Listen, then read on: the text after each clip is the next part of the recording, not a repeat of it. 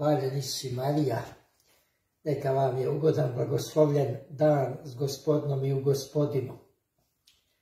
Stiže Marko, a ekipa već dugo čeka za nogomet i veli, pa di si čovječe do sada? A on veli, bacao sam novčić, mama me šalje u trgovinu, a vi vamo čekate pa da vidim hoću li ići u trgovinu ili vamo žurit. I Kaže, pa morao sam bar sto puta bacat dok nije ispalo da dođem vama. Zar vam treba govoriti ko građani da niste slobodni? To ste mogli vidjeti kad vas je se uvažavalo u skupljanju onih potpisa za narod odlučuje i tako.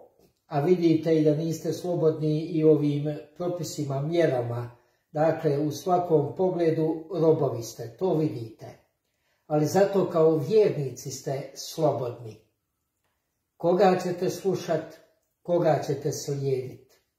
One koji doista samo slušaju i slijede Isusa, ili one koji glume da slušaju samo Isusa, a vidite da slušaju razne svjetske ustanove, od masonskih loža pa do neki, ne znam ni ja, jel de, ovih ekipa, ako slušaju Isusa, a u stvari slušaju probi svjetske lupeže.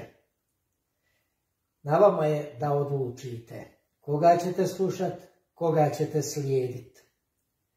Jer na kraju nemojte govoriti, pa nije nam niko rekao.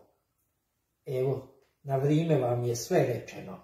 Nek vas blagoslovi čuva sve mogući Bog, Otac, Sin, Idu, Sveti, Amen. Slava svesilnom Bogu vjekove, slava mu!